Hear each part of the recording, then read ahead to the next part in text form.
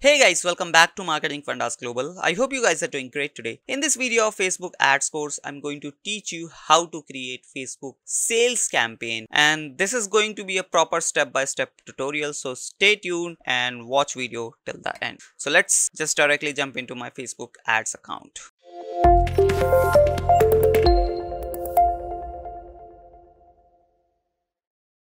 So guys, as you can see, I'm in my Facebook ads account. Now I'm going to create a sales campaign. And for that, obviously I have to click on this create button. And after scroll a little bit down here, I see this sales option. Select this one, hit the continue button and we'll be into our campaign creation process right? So first of all here we have to name the campaign. Whatever the name you want to give to this campaign you can give it.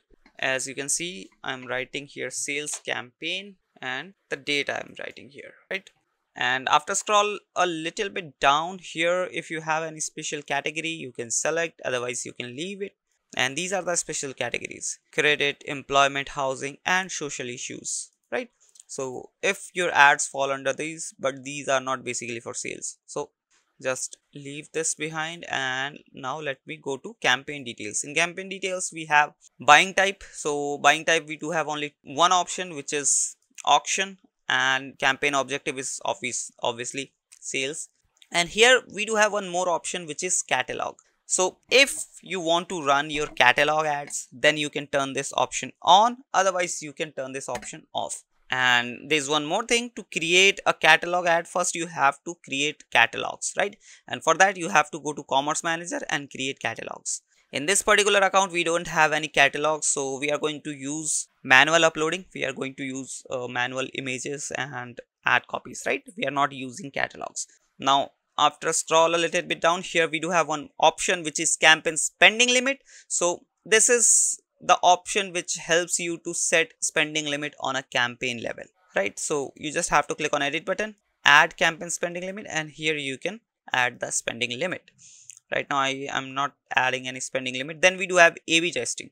So if you want to do A-B testing you just have to turn this option on and this ad will be created as A right? And after the creation of this ad you have to create one more ad which will be known as B. And then Facebook will test both the ads will different audiences so that you can find that which one is working for you or not right? So right now I'm turning off this off and then we do have advantage campaign budget also known as CBO campaign budget optimization.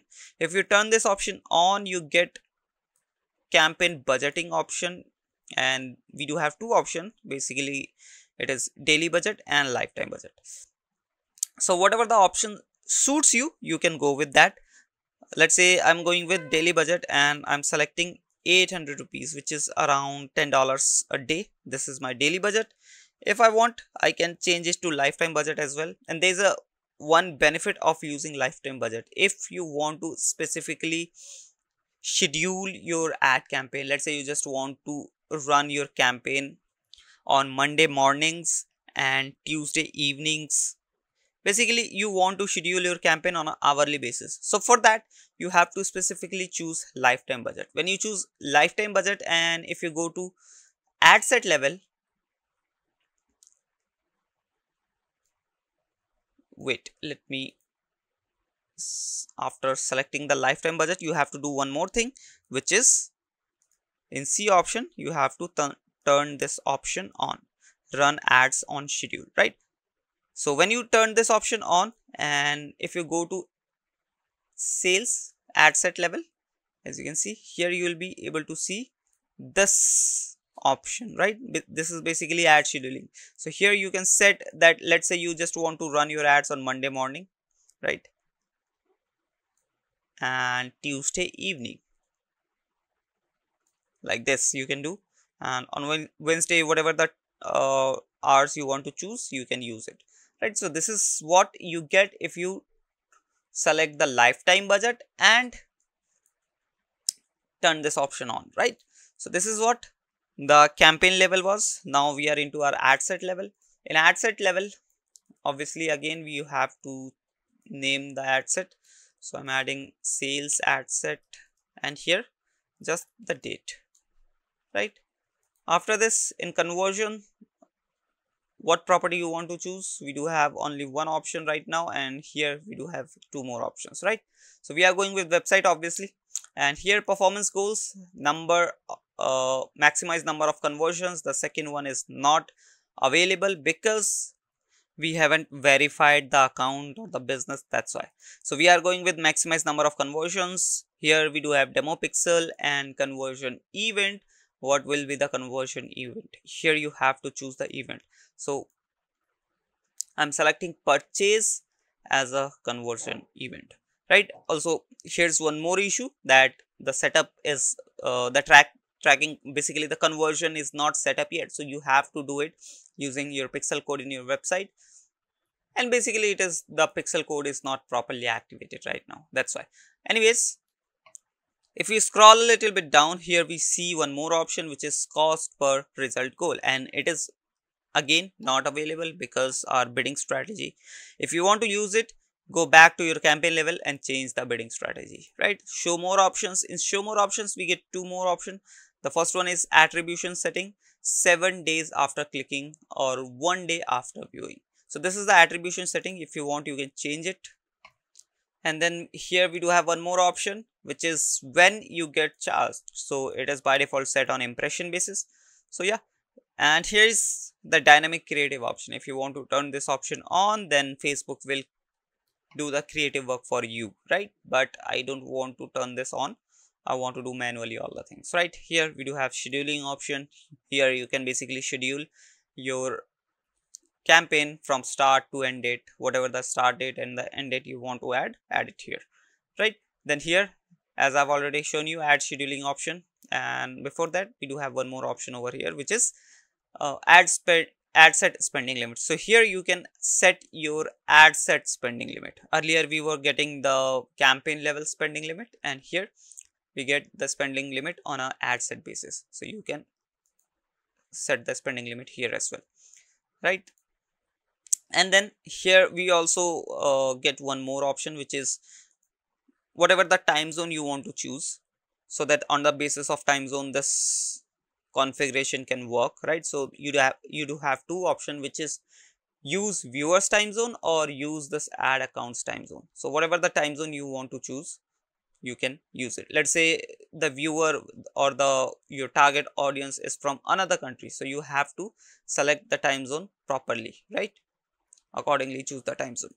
After that if i scroll a little bit down here we do have audience option where you can set your custom audience lookalike audience. I've already shown you how to use these options right? So i'm not going to show you again and again you can use your lookalike audience or you can use your custom audience whatever the option you have you can use it right?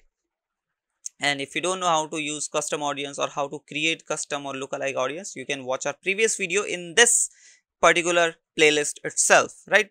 Just go to the description box below and there you'll get a link to the playlist. After that we do have location option. If you click on edit you can add multiple locations multiple areas cities or you can even target on a postal code basis right let's say i've selected india so i've selected the whole country right now in this case, let's say I want to exclude few things or exclude few cities. So for that, I have to click on exclude here. I have to change this one into exclude, exclude. And here I have to search the cities or the areas which I want to exclude. Let's say I want to exclude Andaman and Nicobar. Right, this is the Andaman and Nicobar. This is also a state in India. So I have excluded this location right so this is how you can do it after scrolling a little bit down here you can see one more option which is add bulk location so if you want to add location in, bulk. Let's say you want to add uh, cities in bulk. So you can select the cities or the states and here you can add all the cities one by one. You just have to separate them using the comma as you can see in the example right? So this is how you can do your bulk location targeting. Then we do have age bracket. Whatever the age bracket is suitable for your business you have to select that right? So in my case let's say it is a coffee product which is i'm selling from our website which is offerbazaar.store right? So i'm opening this i'm going to groceries and maybe I could find something. Yeah. So let's use assorted coffee. So this is the product i have using i'm using to promote right? So this this this is a product basically which i'm going to promote right? So in that case the age bracket would be fine 18 to 65 plus if i have any previous data so that i know which is the best perfect age bracket for my product i can use th that age bracket. Otherwise i'm using this one right? After that gender preferences it is still again totally based on your uh, business depend on your business nature. If you sell only sell the product which can be sold to only men's so you have to select men's right? So this is how you can do. After that detailed targeting. In detailed targeting you can do your targeting on a demographical basis interest basis and behavioral basis so you have to just click on browse and here you get the targeting options. If you click on this, it expands, it expands and here are the options, right? All the options are here. As you can see, right? So if you still if you don't know how to do your detail targeting, you can watch our previous videos. So either you can go with your custom targeting or you can use the detail targeting option. After that, we do have the language option, your audience, whatever they speak, uh, whatever the language they speak, you can choose this here. Otherwise, it is by default set on all languages. And here we do have two options, advantage plus placement. This is for basically for your ads, right? And manual placement. So if you go with advantage plus placement, it is basically a pretty shorted option where you don't get any customization or manual things. Facebook's algorithm, Facebook's machine learning automatically find the best placements for your business or for your product time and show the products there or the show the show the ads there right so this is what advantage plus placement is but if you choose manual placement if you uh, know that what you are doing if you know the data previous data if you have your previous data you can do your manual placements as well right? Here you can uh, select the devices as you can see mobile and the desktop and then you can select the platforms as well where you get four options facebook insta audience network and messenger. If you scroll a little bit down here you get the placement options where you want to show your ad on which platform on which placement right now if i scroll a little bit down here i do get one more option show more options. If you click on this again here you get few more options like uh, if i click on edit here you get the operating system basis. Basically you can select the android devices only or the ios devices only. And let's say if you just want to show your ads to the devices which are connected to wi-fi then you can turn this option on. Right after this we get few more options over here you can explore it by yourself. And after all the customizations you just hit the next button and you will be into your ad level. Right? As you can see again here we have to name our ad. So i'm just adding sales ad and the date over here. After this uh, identity you have to select your facebook and insta account facebook page and instagram account right? In ad setup we don't have catalog option over here so we have to do manual uploads right? But if you have catalog option you can choose it. And this way you don't have to upload the products or the upload the images manually right? Now we want to sell this product right? This is assorted coffee. So what i'm doing is i'm going to download the image so that I can use this image. Save it. Let's go to ads. Now I'm doing the manual upload as you can see and the format will be single image or the video right? If you want you can go with carousel or the collection as well. But I'm going with single image or video. Here I have to add the media. So I'm adding the image. I'm clicking on upload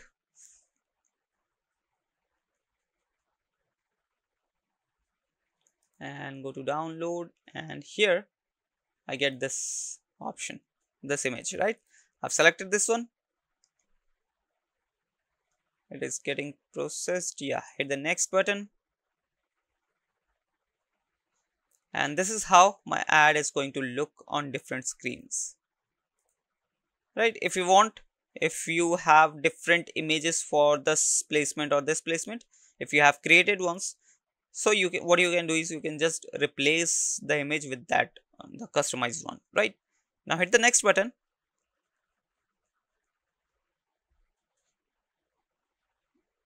And click on done. It will be added into your ad. As you can see here right? After this you have to add the primary text or the headline. So in primary text i am just copying the demo content from here. Copy it and paste it here. But obviously whenever you are creating the uh, primary basically the ad copy you have to write it properly right? It should be appealing it should be attractive so that the user can take a time to read the ad copy and get converted. I'm copying again assorted coffee and in here i'm pasting it as a headline and here in description whatever the description you want to add about the product you can add it. But for now i'm just adding the emojis. So i'm just adding star one two three four five. So five star. I've added five star. It looks basically it gives a review kind of thing. As you can see the description is showing here and it looks like that this product has five star rating. So you can do that as well also you can add few extra headline and descriptions so that facebook can check whatever the face uh, headline and description is working for you. And in call to action obviously i'm going to select the buy now or the shop now button. Yeah let's select the shop now button here. After selecting the shop now button here you have to select the destination url so this is going to be our destination url because i want my uh, customers the target audience to land on this page and they can directly purchase the product right? So i'm copying this link pasting here. And here we do have one more option which is display link. So this is the link where your users will be landed and this is the link which your users will going to see right so here you can create a simple link like this. Let me copy it paste it here.